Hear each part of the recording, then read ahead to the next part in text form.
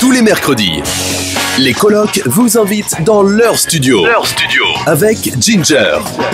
En direct sur Radio VL.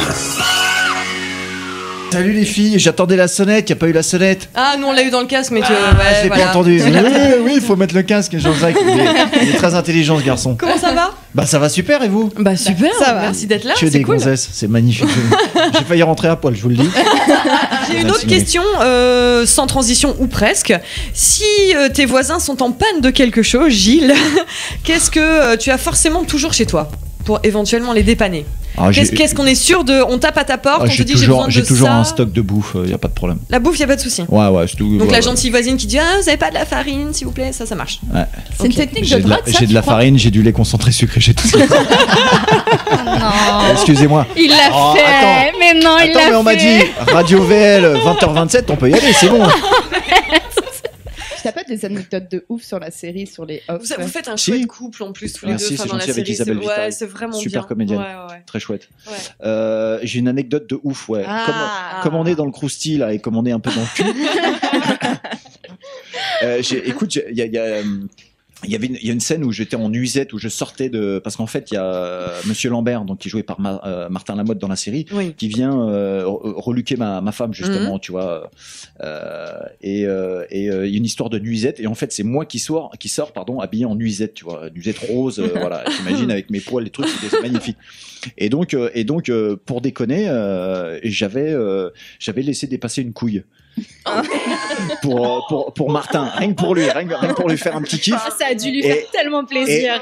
bah, bien entendu, c'est c'est une troupe de théâtre les voisins. C'est ça. Et donc et donc et les et les euh, comme je, je m'entends très bien avec les techniciens, ils avaient fait un panneau, c'est-à-dire un panneau, c'est-à-dire qu'ils avaient euh, filmé Ouais. euh, ma coucougnette, et ils, ils étaient remo- remontés sur moi. Donc et ça, messieurs dames, euh, c'est dans le bêtisier. C'est pas vrai. C'est-à-dire que ma couille est passée Non, sur TF1 sans qu'ils s'en aperçoivent. C'est pas. Mais c'est énorme. Parce que c'est un peu voilé, tu vois, il y a le, le voile de, de la nuisette, tu vois, et donc euh, il y, a- il y a bien ma, ma Eh, tout le monde va aller chercher ses Ah, Je vous, je vous donne le défi d'aller d'aller choper le bêtisier où on T'as- ma- fini ma par le faire ton film érotique en fait. Et voilà. Sur Tu vois, TF1, ça va s'il te plaît.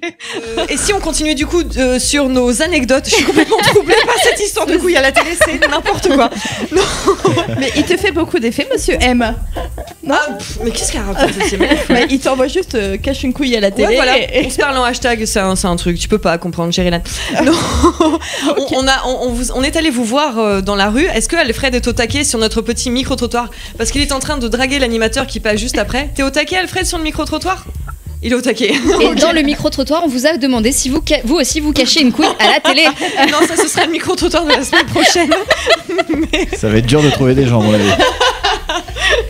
On vous a posé la question, c'est euh, de, de- de nous raconter en fait vos meilleures anecdotes avec vos voisins. On s'écoute ça maintenant.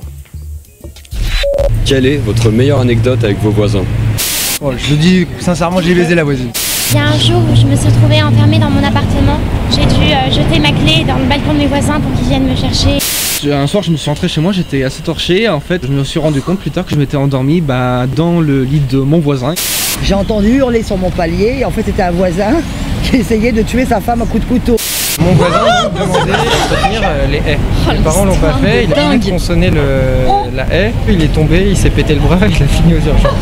J'ai une voisine qui a fait un trou au marteau dans un mur chez moi. J'ai enragé mes voisins, voilà. J'aime beaucoup la musique. En toute détente, Toute détente, il y a la, la meuf qui se en fait toute détente, la meuf a failli se faire planter quand même. hein. Non, elle, s'est- elle se Non, faisait elle, planter. elle se faisait planter. Et nous, Mais ça c'est nous fait un fou rire. Cette histoire. Improbable. Ok, on espère qu'on vient de se faire pirater par, par celui qui a préparé ce petit micro-trottoir.